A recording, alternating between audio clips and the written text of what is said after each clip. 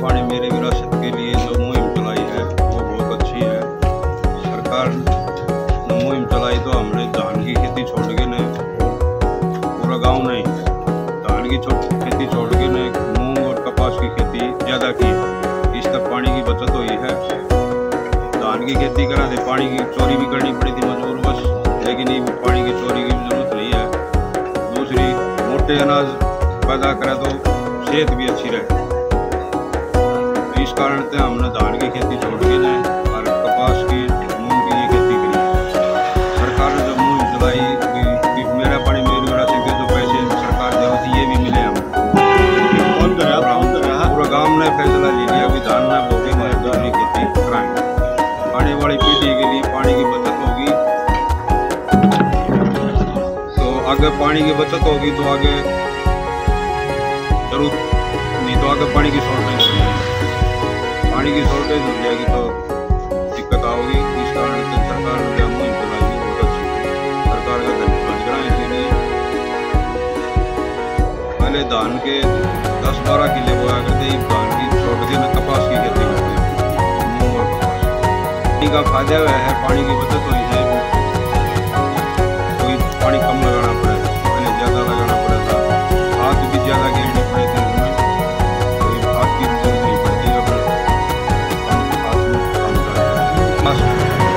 पास के किसानों को भी बताते बताएँगे बता रहे हैं।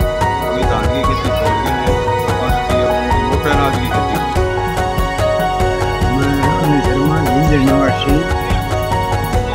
धान के बारे में कुछ बताना चाहूँगा। हमारे जो मुख्यमंत्री हरियाणा ने जो स्कीम चलाई है मेरा पानी मेरी विरासत के उसमें तो ये बहुत अच्छी स्कीम है। धान के बदले हमें दूसरी फ़सल लेनी चाहिए। हम ये इस मतलब पीढ़ी के अंतिम वर्ष नहीं है, मैं आने वाली पीढ़ी के लिए भी पानी बचाना होगा। धान में हमें भूमिगत जल का भी मतलब दोहन बहुत ज़्यादा करना होता है। तो इससे पानी की जो है ना, बहुत आने वाले दिनों में कमी हो जाएगी। तो हमें आने वाले पीढ़ी के लिए पानी को बचाना होगा। धान छोड़ के हमें दूसरी खेती उपजानी होगी, उसमें हमारे मतलब जो है सेहत के ऊपर भी असर पड़ेगा। हम आजकल गेहूँ और धान, जो चीज़ का यूज़ करने लगे हैं, इनमें पेस्टिसाइड वगैरह फर्टिलाइज़र सबसे ज़्यादा पड़ता है। इसकी बजाय अगर हम मोटे अनाजों का बिजाई करेंगे तो उसमें हमें पेस्टिसाइड वगैरह भी कुछ नहीं डालनी पड़ेगी। हमारी सेहत के लिए भी अच्छी होगी, आने वाले बच्चे भी मतलब ठीक होंगे। तो इसलिए मैं सबसे अनुरोध यही करता हूँ कि धान की फ़सल छोड़कर दूसरा भी जिसमें मोटे अनाजों की कम पानी सरकार ने जो मेरी ये पानी मेरी विरासत योजना जो चला रखी है इसमें मेरे खाते में भी पैसे आए हैं मैंने भी धान की जगह मूंग की खेती ली थी तो मैं सरकार का धन्यवाद करता मेरा नाम है मुकेश गाँव झिंझर जिला तक धान की खेती को छोड़ के दूसरी फ़सल लगाए इससे बहुत फ़ायदा होगा, और पानी की बचत भी होगी। और जो सरकार मुआवजा दे तो वो मिलेगा। बहुत फ़ायदा होगा मुआवजा हमें भी मिला है और धान बंद होने से दूसरी फ़सल बढ़िया बनेगी।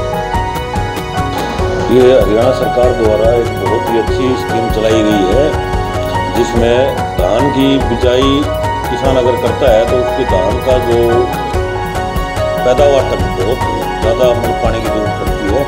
इसे भूमि का जो है ना, जल स्रोत है, उसमें बहुत ही ज़्यादा मात्रा में मतलब जो है पानी का उपयोग होता है और उसका जो पानी ज़्यादा होने की वजह से और कुछ धान की खेती करने में जैसे जो खाद वाद डलती है उससे ज़मीन की जो उर्वरक क्षम- क्षमता है वो कम हो जाती है। तो सभी किसान भाइयों से, जिला तरक्की दादी के सभी किसान भाइयों से मेरा ये अनुरोध है कि जो किसान भाई धान को छोड़ के और अन्य फ़सलें बोए, उसके लिए सरकार द्वारा दी जाने वाली प्रोत्साहन राशि उसको दी जाएगी।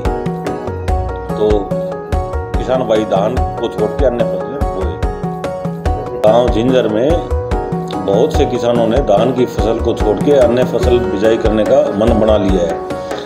और उनको इस प्रक्रिया से मेरा पानी मेरी विरासत स्कीम के तहत दो तीन साल से उनको मुआवजा भी मिला है, जो कि एक प्रोत्साहन राशि के रूप में किसानों को दी जाती है और किसान उससे लाभान्वित हो रहे हैं। और उसके साथ साथ जो है ना, भूमि का जो जल संचय है, वो भी कम हो जाएगा और भूमि की उर्वर क्षमता है, वो भी काफ़ी लंबे समय तक बनी रहेगी। और इसे किसानों के द्वारा जो पानी में, पानी की जो भी है, नहर से सोंडिया डाल के तो पानी निकालने की प्रक्रिया है उसमें भी काफ़ी कमी आएगी क्योंकि पानी की जब ज़्यादा दूर नहीं होगी तो पानी निकालेंगे क्यों किसान तो ये बहुत ही अच्छा कदम है ज़िंदगी गाँव के किसानों के आने वाली पीढ़ी को तो पानी है जल है तो कल है तो पानी है वो भविष्य की मांग है अगर वो आज हम अगर सारा पानी का संचय कर लेंगे तो आने वाली पीढ़ी के लिए पानी की बहुत तो जो जल संचय, जो मेरा पानी मेरी विरासत स्कीम के तहत जो किसान भाई कर रहे हैं, वो अपना भविष्य के लिए आने वाली पीढ़ियों के लिए अपने जल को संचय कर रहे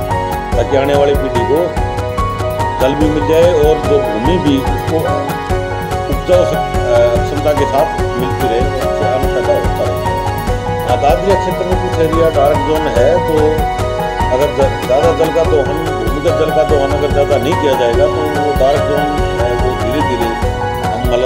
मतलब एक ठीक लेवल के ऊपर अगर बरसात का पानी है, उसको अपने ज़मीन में मतलब वेस्ट ना भागे, अपने खेत में अपने घर पे जैसे भी उसको स्टोर करके और भूमि में वापस इंस्टॉल करें उसको तो हमारा जो डार्क जोन की लिमिट है, शायद वो भी ख़त्म हो जाएगी। धीरे धीरे अगर हमें प्रयास में लगे रहे।